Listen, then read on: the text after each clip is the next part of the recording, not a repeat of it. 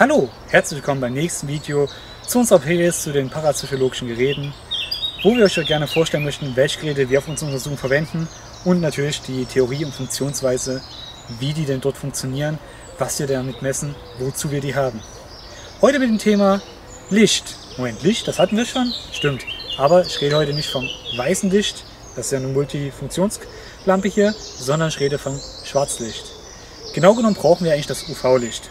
Aber es ist Schwarzlicht, weil es nicht nur UV, sondern man hat natürlich auch blaues und ein bisschen weißes Licht beigemischt, damit wir überhaupt sehen können, ob eine Lampe an ist oder nicht.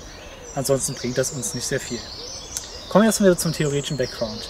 Also, es gibt viele Stoffe, vor allem organische Stoffe und aber auch verschiedene Metalle. Das sieht man, wenn man mal Video eingibt, leuchtende Steine. Wunderschön eigentlich. Aber auf jeden Fall sind das alles Stoffe, die, wenn sie mit UV-Licht bestrahlt werden, energetisch geladen werden. Und mal ein Beispiel des Bohrschen Atommodells zuerst. Da gibt es ja, jeder Atom ist ja umhüllt von Schalen, auf denen sich die Elektronen bewegen. Wenn nun eine Energiequelle, eine starke UV-Licht, da drauf trifft, werden die äußeren Elektronen energetisch angeregt und wechseln auf eine höhere Schale. Da können die aber nicht bleiben. Sie fallen zurück auf ihre ursprüngliche Schale, die weniger Energie hat. Und die überschüssige Energie, die sie quasi vom Schwarzlicht absorbiert hatten, strahlen sie aus. Dann aber nicht in Form von Schwarzlicht, sondern von einer ganz markanten Farbe. Je nach Stoff ist es unterschiedlich. Das ist nochmal erklärt mit dem Orbitalmodell, das quasi geltender ist. Das Bohrsch ist vielleicht einfacher, aber das Orbitalmodell ist ja das geltende. Eigentlich ist es ähnlich wie Schalen, es gibt halt nur keine Schalen, sondern Orbitale. Das sind Orte, wo Elektronen mit hoher Wahrscheinlichkeit auftreten. Und hier ist das gleiche Prinzip. Ein Elektron aus einem Orbital, ein relativ energiearm Orbital, wird mit UV-Licht bestrahlt. Es wechselt in ein energiereicheres Orbital. Wenn nun mal die Strahlung nicht mehr drauf ist, beziehungsweise es kann da allgemein nicht bleiben, fällt es in sein altes energiearmes Orbital zurück und auch hier wird die frei werdende Energie in Form von einem signifikanten Licht wieder emittiert, sprich abgestrahlt.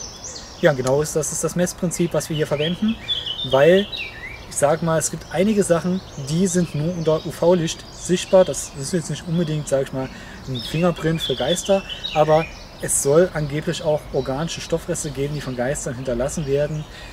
Thema Ektoplasma, damit befassen wir uns aber in einer anderen Playlist genauer, weil das ist bisher noch nie bestätigt worden. Das ist nur eine Theorie, aber wir wollen sie ja nicht ausschließen.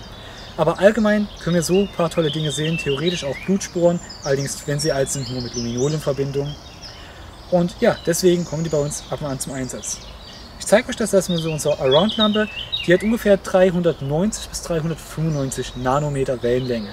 Das heißt, das ist die obere Grenze vom UV-Licht. Das nächst sichtbare Licht für den Menschen ist bei 450 Nanometer und endet ungefähr bei 750 Nanometern. Das blaue Licht ist das 450er. So, ich zeige das mal kurz an meiner Hand. Kleiner Hinweis vorher aber, UV-Licht ist natürlich in gewissem Maße schädlich. Das hier ist relativ langwelliges, also relativ energiearmes UV-Licht und damit bei einer Kurzzeitbestrahlung kein Problem. Für die Haut, Augen sollte man trotzdem vermeiden, aber ich zeige euch das mal kurz an der Hand. Weißes Licht, ganz klar, kennt jeder. Das ist jetzt nur eine andere Lichtintensität, blinken. Und das hier ist UV-Licht. Klar, umso weiter ich weggehe, umso mehr streut es, umso näher ich rangehe und desto fokussierter wird es. So, das UV-Licht ist halt so, dass wir dann in der Lage sind, eventuell irgendwas zu sehen. Verschiedene Stoffe emittieren verschieden. Ich habe ein paar Sachen mitgebracht und zeige das mal. Weiß zum Beispiel reflektiert alles Mögliche. Das ist ja so mit Weiß. Hier einfach Aufhänger. Huch, bleibst du mal drin. Wenn ich drauf gehe, seht ihr, der strahlt wunderbar. Sieht echt schön aus, wenn der dann so leuchtet. Unter weißem Licht zeige ich das jetzt mal kurz. Leuchtet er natürlich auch. Wie gesagt, reflektiert er alles. Aber ihr seht, das ist ganz anders. Das ist quasi die volle Bandbreite, die er hier reflektiert. Und hier wird nur der UV-Bereich reflektiert. Ich habe aber, wie ich ja gesagt habe, mehrere Sachen mitgebracht. Und wie ich vorhin schon erwähnte, können ja organische Substanzen und auch, äh, ich sage Mineralien, entsprechend verschiedenes Licht emittieren. Das hier ist eine Sonnenmuschel und ja, quasi Perlmut, aber ihr seht, das Perlmut ist schon ein bisschen abgenutzt, das ist nicht so ganz glatt. Außen ist ja immer die sowieso Perlmutschicht, die da mit verschiedenen Farbpigmenten ist. Und die könnte in der Theorie leuchten. Ich zeige es mal mit weiß. Klar, reflektiert alles, was weiß ist, reflektiert alles Licht. Das Schwarz reflektiert nichts und von innen ist es natürlich sehr, sehr hell und reflektiert perfekt. Gut, springen wir mal auf Schwarzlicht um. Hier sieht man, oh, wir hatten ja gerade diesen weißen Aufhänger gehabt. Ihr seht, das ist quasi optisch ein ähnliches Weiß, aber reflektiert viel, viel weniger. Das heißt, dieses Weiß hier hat keine Substanzen, wo UV-Licht gut gebunden werden kann. Ich drehe mal die Innenseite um, quasi die glatte Perlmuttschicht. Und auch hier seht ihr, liegt es am organischen Material und es reflektiert quasi so gut wie nichts.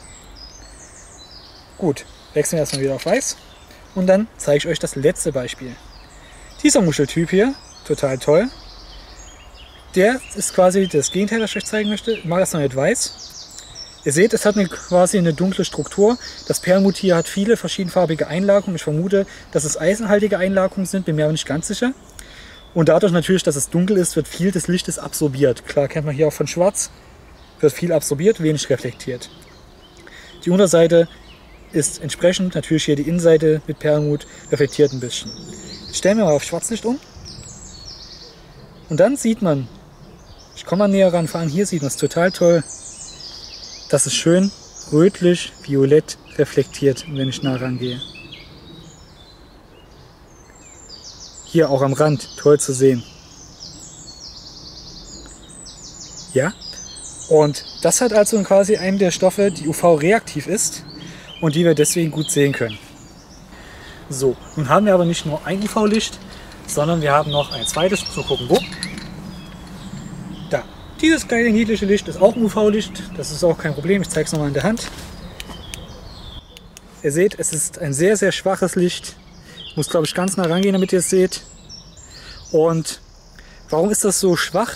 Ja, dieses UV-Licht oder dieses Schwarzlicht genauer genommen hat eine sehr viel geringere Wellenlänge. 365 Nanometer ist also so, so gesehen energiereicher. Umso kürzer die Welle, umso mehr Energie steckt drin. Und von der Entfernung seht ihr es gar nicht mehr, aber was wir toll haben, wir können mit der fokussieren. Und dann sieht man es besser. Ich komme noch mal ran. Ja, so sieht es unfokussiert aus. Ihr seht, denke ich, nichts. Wenn ich jetzt fokussiere, sieht man zumindest diese kleine, ja, sagen wir fast schon rundliche Sache. Wenn ich das jetzt nochmal in unseren reaktiven Sachen zeige, weil je nach äh, Wellenlänge kann es sein, dass verschiedene Sachen reflektieren und nicht. Ich komme mal näher ran und versuche euch zu zeigen. Ihr seht, hier reagiert das nicht verglichen mit unserem anderen Schwarzlicht. Einfach weil die Wellenlänge, ups, bleiben wir drinne, weil die Wellenlänge einfach nicht passend ist. Der Stoff reagiert nicht auf diese Wellenlänge vom UV-Licht und deswegen reflektiert er nichts. Und zum Weiß, dass es noch an ist, ja, ihr seht, ich drücke nichts, schalte meine Hand wieder davor, also an war es die ganze Zeit. Deswegen haben wir verschiedene, weil halt verschiedene Stoffe auf verschiedene Wellenlängen reagieren. Nun haben wir gerade jetzt am Tag natürlich das Problem, wenn wir sowas machen. Es ist schwer sichtbar, weil es halt hell ist und, sag ich mal so, künstlich Licht zu erzeugen ist nicht so einfach. Künstliche Dunkelheit meine ich. und darum haben wir Patentrecht gebaut, die Blacklight Box. Könnt ihr unsere Shop bestellen für 250 Euro. Nein, kleiner Scherz. Das ist selbstmade. Wer das gerne möchte, kann das selber bauen. Die Konstruktion ist extrem einfach. Eine Pappschachtel, ein bisschen mit Ducktape abgedichtet, damit es auch ein bisschen resistent ist, damit nicht so viel Licht durchkommt. Vorne eine Öffnung zum Durchgucken. Oben etwas, um, was, um das Licht reinzumachen. Und Öffnung, um was reinzulegen. Damit kann man quasi mobil, wie wir jetzt hier unterwegs sind und es relativ hell ist, so ein bisschen, sage ich mal, Dunkelheit erzeugen, wenn man Sachen sich darunter anschauen soll. Schon mal wieder unsere reaktive Sachen hier und befüllt das mal. Zack. Brauche noch den Aufhänger, der hat auch so toll geleuchtet. Wo ist er? Da. So, ich packe jetzt mal da rein. Und habe jetzt, wir, ein bisschen Dunkelheit erzeugt. Es ist halt trotzdem noch taghell gerade. Aber immerhin, wir wissen, mit der hier reagieren sie.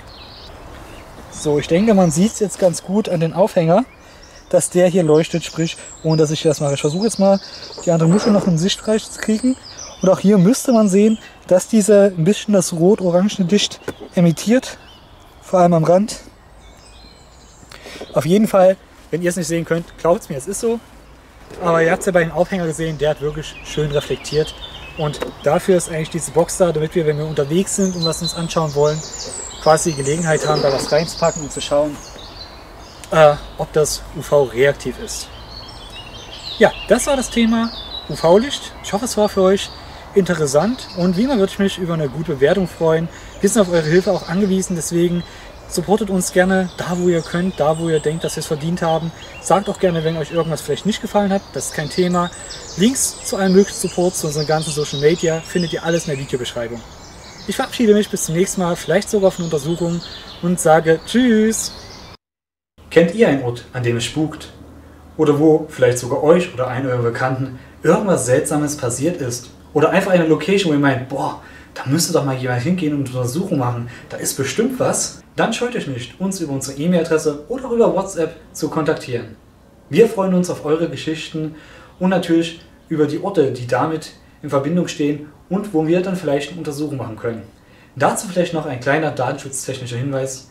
Wenn ihr nicht wollt, dass euer Name in einem Video oder so als Quelle genannt wird, bitte einfach ein kleiner Hinweis zu uns. Wir machen uns dann eine Aktennotiz und dann passiert das auch nicht.